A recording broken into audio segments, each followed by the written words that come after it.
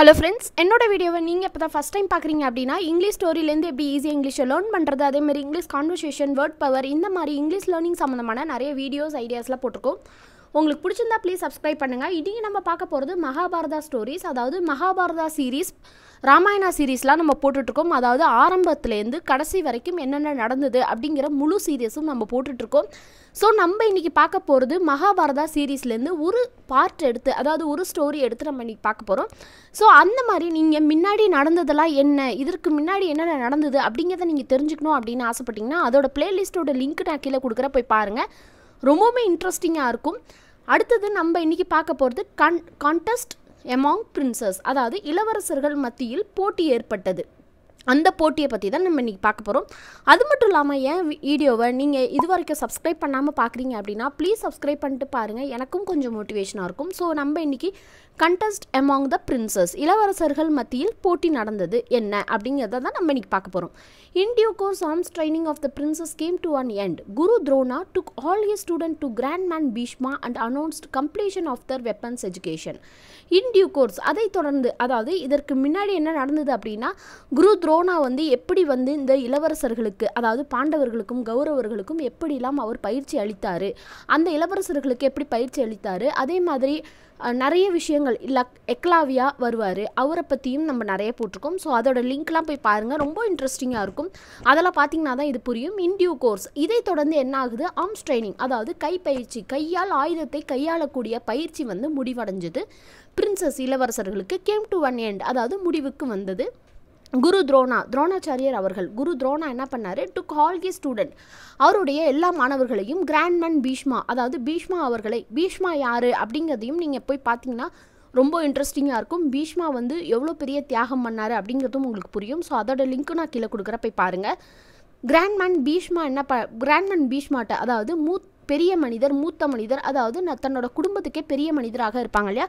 அவங்களுக்கு கிராண்ட் மேன்னு சொல்லுவாங்க. அந்த பீஷ்மா கிட்ட போய் சொல்கிறாரு துரோணா. இந்த மாதிரி அவங்க இளவரசர்கள் அவங்களுடைய கல்வி பள்ளியை அதாவது கை பயிற்சிகளை அதாவது ஆர்ம்ஸ் ட்ரைனிங்கை அதாவது இந்த கையால் கையாளக்கூடிய ஆயுதங்கள் இருக்கும் இல்லையா? அதை வந்து முடிச்சிட்டாங்க அப்படின்னு சொல்லிட்டு சொன்ன போனார். அண்ட் அனௌன்ஸ்டு அனௌன்ஸ்டாக தெரிவித்தார். கம்ப்ளீஷன் அப்படின்னா முடிவடைந்தது. ஆஃப் தர் வெப்பன்ஸ் எஜுகேஷன் அவங்க ஆயுதங்கல்விகள் முடிந்து முடிவடைஞ்சிருச்சு அப்படிங்கன்னு சொல்கிறாரு to test the skills of the princes the grand man propose to hold a contest உடனே அந்த பீஷ்மா என்ன சொல்கிறாரு ஓகே நம்ம வந்து இவங்க இளவரசர்களுக்கு எல்லாருக்குமே ஒரு தேர்வு மாதிரி வைக்கலாம். எல்லாருக்கும் ஒரு தேர்வு வைக்கலாம் அப்படின்னு சொல்லிட்டு முன்மொழிகிறார். அதாவது ப்ரொப்போஸ்ட் அப்படின்னா ஒரு ஒரு விஷயத்தை விஷயத்த முன்மொழிகிறார். ஒரு விஷயத்த முன்கூட்டி சொல்கிறாரு ஹோல்டு ஹோல்டு அப்படின்னா நடத்துறதுக்கு. கண்டெஸ்ட் அப்படின்னா இப்போ ஒரு தேர்வு அதாவது அவங்களுக்குள்ள ஒரு போட்டி அந்த மாதிரி வைக்கிறது தான் கண்டெஸ்ட்னு சொல்லுவாங்க. Guru Drona gladly agreed to it as he had full faith in his student உடனே குரு துரோணாவும் ரொம்பவுமே மகிழ்ச்சியாக அதை ஒப்புக்கொண்டார். ஏன்னா அவருக்கு ரொம்பவுமே முழு ஃபை ஃபுல் ஃபெய்த் அப்படின்னா முழு நம்பிக்கை இருந்தது அவருடைய மாணவர்கள்ட்ட. நம்ம மாணவர்கள் கண்டிப்பாக ஜெயிக்காங்க ஜெயிப்பாங்க அப்படின்னு முழு நம்பிக்கை இருந்தது. The days of the contest were fixed and a public declaration was made that to mark the end of the arms education of the princes உடனே அந்த டேஸ் அதாவது என்னைக்கு வைக்கிறாங்க என்னைக்கு அந்த போட்டிகள் நடைபெறும் அப்படிங்கிறதையும் ஃபிக்ஸ் பண்ணிட்டாங்க. அதாவது உறுதியாக முடிவு எடுத்துட்டாங்க. பப்ளிக் டிக்ளரேஷன் அதாவது பொது அறிவிப்பும் எல்லா மக்களுக்கும் இந்த மாதிரி இளவரசர்கள் வந்து இந்த மாதிரி வெப்பன்ஸ் எஜுகேஷனை முடிச்சிட்டாங்க. அதனால் எல்லாருக்கும் ஒரு கண்டெஸ்ட் ஒரு தேர்வு மாதிரி வைக்கிறோம் போட்டி வைக்கிறோம். அதனால் எல்லாரும் கலந்துக்கணும் அப்படின்னு சொல்லிட்டு எல்லாருக்கும் ஒரு டிக்ளரேஷனும் அறிவிப்பும் அழிச்சிட்டாங்க மேடு அப்படின்னா செய்தார்கள் மார்க் அப்படின்னா அறிவிப்பு ஒரு குறிப்பிட்ட ஒரு விஷயத்தை பற்றி end of the arms education of the princes அவங்க அந்த கையால் அதாவது போர் வெப்பன்களை கையாள்வதற்கான எல்லா தகுதிகளும் பெற்றுட்டாங்க. அவங்களுக்கு இப்போ போட்டிகள் நடைபெறும் அப்படின்னு சொல்லிட்டு எல்லாருக்கும் அறிவிச்சிட்டாங்க. ஆர்கனைஸ்ட் அப்படின்னா ஏற்பாடு செய்தது. Would be open to the public ஒரு பொதுவான இடத்திற்கு ஒரு ஓப்பனாக எல்லாருக்கும் அறிவிச்சிட்டாங்க. The venue of the contest was Hastinapur royal game centre இந்த விஷயம் இந்த வந்து இந்த போட்டிகள்லாம் எங்கே நடைபெறுது அப்படின்னா ஹஸ்தினாபூரோட ராயல் கேம் சென்டர் அந்த மிகப்பெரிய ஒரு விளையாட்டு தடல் விளையாட்டு சூழல் கொண்ட ஒரு இடத்துல எல்லாமே அஸ்தினாபூரோட விளையாட்டு தடல்லையும் விளையாட்டு இடத்துல அதாவது விளையாட்டுலாம் நடைபெற இடத்துல எல்லாமே ஏற்பாடும் செஞ்சுட்டாங்க. It was a festive atmosphere அது ஒரு விழாக்கால சூழல் மாதிரியே இருந்தது. தேர் ஆன் தட் டே அந்த நாள் ஒரு விழாக்கால சூழலாகவே இருந்தது.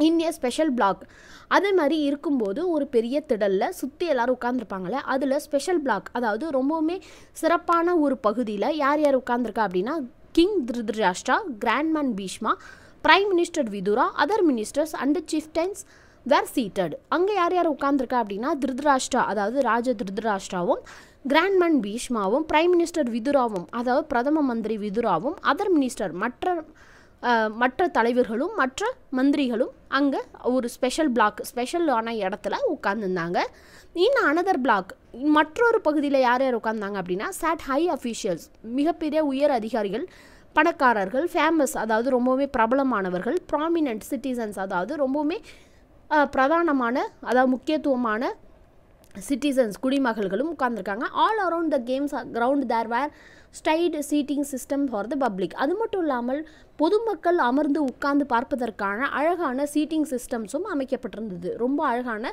ஒரு அமை அமைதியாக உட்கார்ந்து எல்லாருமே அந்த வேடிக்கையை பார்க்குற மாதிரி போட்டிகளை பார்க்குற மாதிரி அமைதியாக எல்லா சிஸ்டமும் அமைத்திருந்தது.